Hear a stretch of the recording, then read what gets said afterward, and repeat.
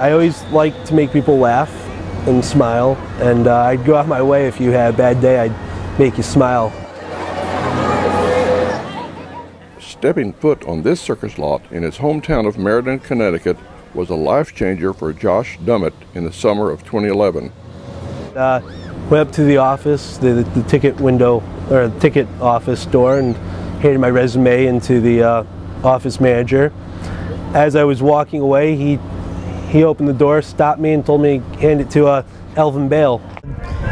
Just noticed him hanging around the clowns a lot. So then he came over to me and said, "Hi, I'd like to introduce myself. Uh, my name's Josh." He said, "and uh, I, would like to be a clown." I said, "Really?" He said, "Yeah. Can I bring you some pictures, or can I uh, audition for you, or something like that?" And I said, "Sure." You know, no big deal. You know, we get a lot of kids like that. I'm talking with him for probably a good 20 minutes. Uh, just he, he was just asking me questions like, what were my skills? Uh, he was telling me about the life. Uh, in a way, I'm not sure if he was trying to uh, try, to try to get me to think of something else. I thought, you know what, this is a good kid. I'd love to give him a chance to see if he could last. And you know, in the circus, it's it's tough. And I told him it was going to be rough, and it was going to be tough. It was going to be hard work. And he said, that's okay, that's okay. He said he'd give me a call if there was any openings, and uh, it wasn't until the next day on my uh, on my lunch break uh, I saw that there was a message from him, and he told me to be up in uh, Trumbull, Connecticut uh, on Saturday right here in Trumbull. This is where he first came to work. This is his first date.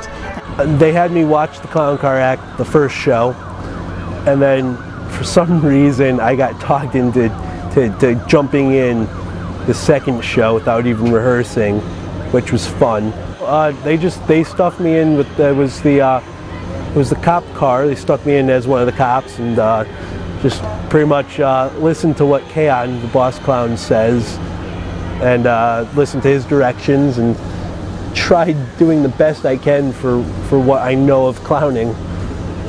You know, we have a good compliment, we have the clown routine with the other guys. You know, you're doing very good, yeah. And uh, we're talking about meatball, huh?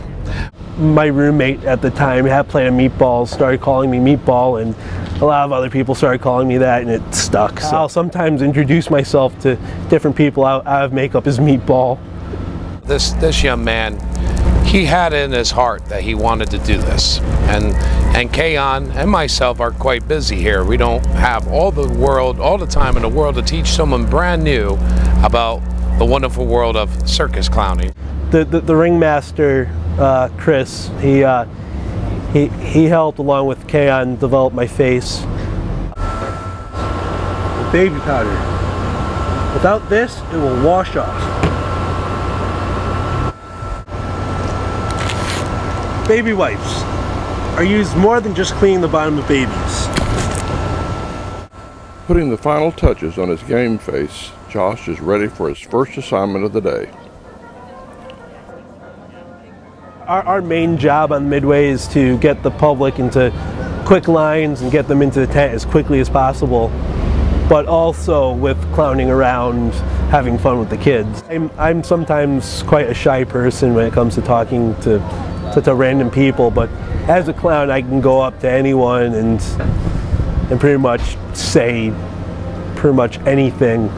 Times back in high school, I'd, I'd read an essay I wrote in front of the class and I'd get nervous. Like, I was always the one who, when they asked to, to read essays, I'd be scrunched behind my desk, behind the book, trying to hide. So uh, I had to get used, I had to go and get used to the, uh, the being in the ring, present, and nowhere to hide. 20-year-old Josh Dummit has a way to go before he can become a star in the Cole Brothers firmament, even though he is seen at least six times during the performance.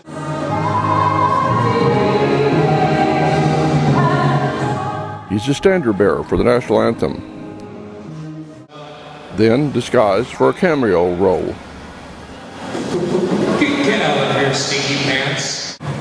Next, he's a big game hunter with his fellow Joeys.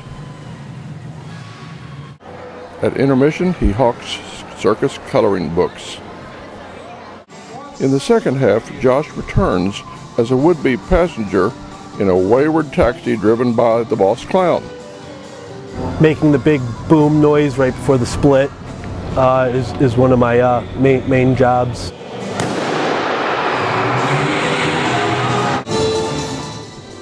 You might spot him during the web act, but only if you can take your eyes off the beautiful women twirling high above the arena.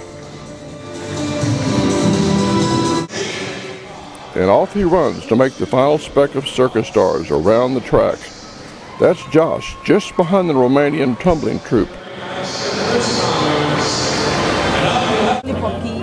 Josh credits his Clown Alley compatriots for bringing him along in his craft. They took me pretty much off the street and taught me uh, everything that I know and what I can do now. And I'll admit, when Josh first came here, he may not have been the funniest clown doing pratfalls and that kind of thing, but you know what? Kaon and the other guys, Perolo, they all taught him how to do falls. Good. He started, you know, like last year with us. He worked good, and you know, I hope he be in the circle for many years. You know, try to be more funny like he do now. That after a while, you're doing it every day, comes naturally.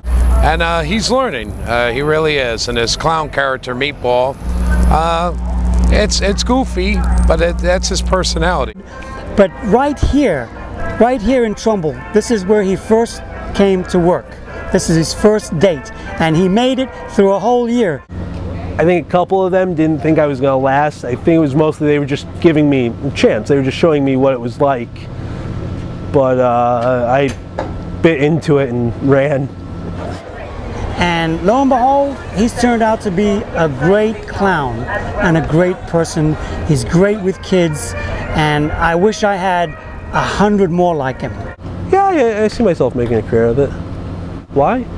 Because it's fun. From Trumbull, Connecticut, I'm Lane Talburt. See you at the circus.